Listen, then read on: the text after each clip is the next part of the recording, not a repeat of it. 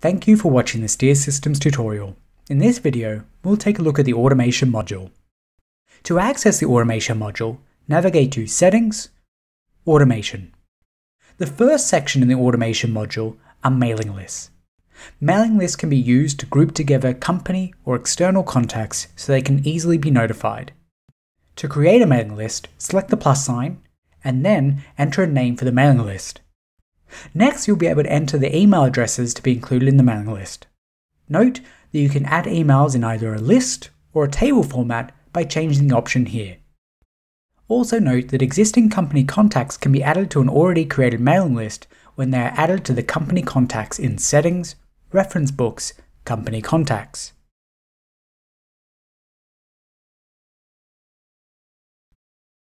The next section is Notifications which enables Dear to notify you when different events occur. To enable a notification, first select the category or the module the event takes place in.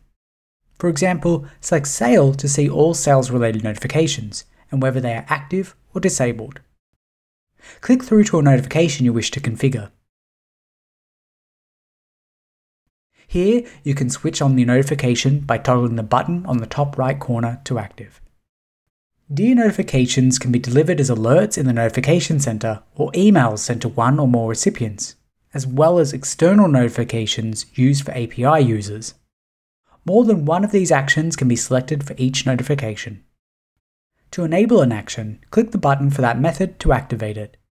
Some notifications do not support all delivery method types. If the notification type is supported, a toggle for that method will be available in the Action section of the notification. Enabling an action will activate a message template field below. Each action for the same notification can have a different message template. Internal notifications are delivered to all Dear users in your company. These notifications are sent to the Notification Center on the top right corner of the screen. This is represented by the bell icon. You can configure the message template and see the internal execution log from here. Clicking the notification button displays the most recent notifications with a link to the relevant details and the date and time the notification was triggered. Notifications can also be delivered via email using this option.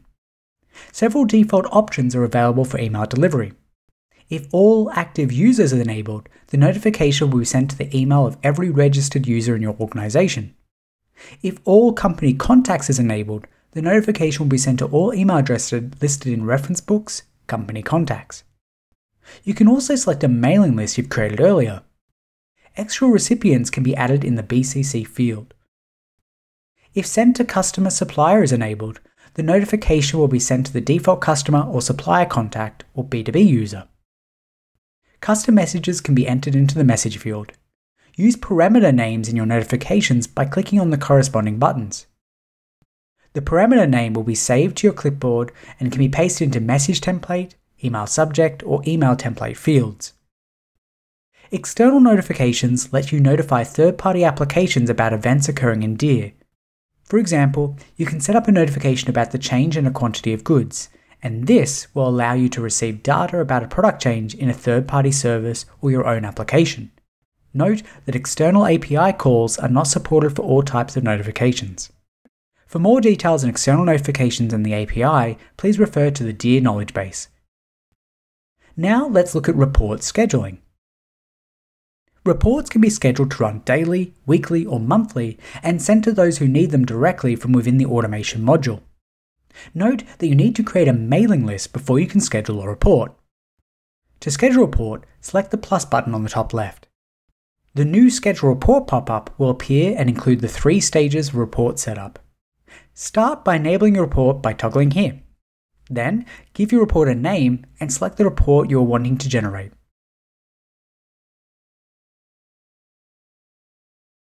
In the second stage, you're able to select any of the custom layouts you've previously saved for that report, as well as the period of time which the report will cover and any bespoke options for the report type selected.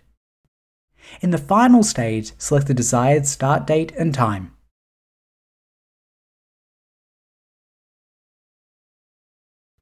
Then, the frequency the report will operate at, noting that beyond the standard options, you also have the ability to set custom amounts of days. Then select the mailing list to which the report will be sent, and choose the format of which the report will be sent as. Finally, select Save to complete the setup. The report's generation log will contain the history of all the generated reports, including the date, time, and their format, as well as giving you the ability to download the reports by selecting the download button on the right hand side. The next section is reminders. System reminders can be set on pending tasks that require your immediate attention. Any reminders you turn on in this list will appear in your Dear dashboard. The reminders portion of your dashboard presents each of the reminders enabled. It also shows a count of each of the records that meets that criteria and acts as a direct link to the list of those records.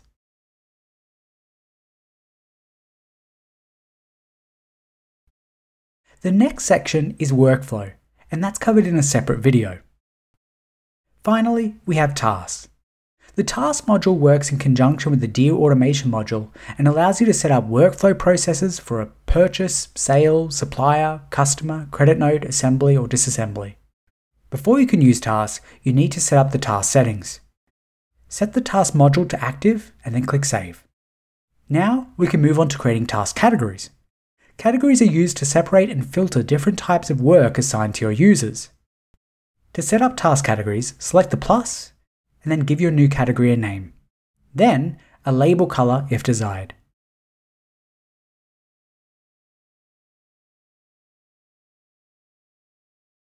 Next, we can customize your working schedule via the Calendar tab on the left.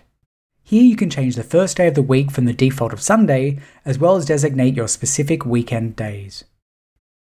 You're then able to add holidays via the Add Holiday option by selecting a date, giving the holiday a name, and choosing whether you want any workflow logic to skip assigning tasks on these days.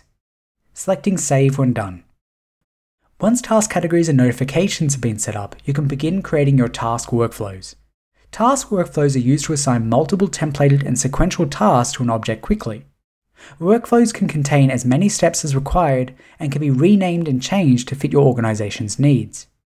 Before starting a workflow, you'll need to make sure that any desired notifications that interact with the workflow are enabled. Then, select Plus to start a new workflow. By default, a workflow is set to active. Toggle the Active button to make the workflow inactive after creating it. Give the workflow a name and select the type of records the workflow is applicable to.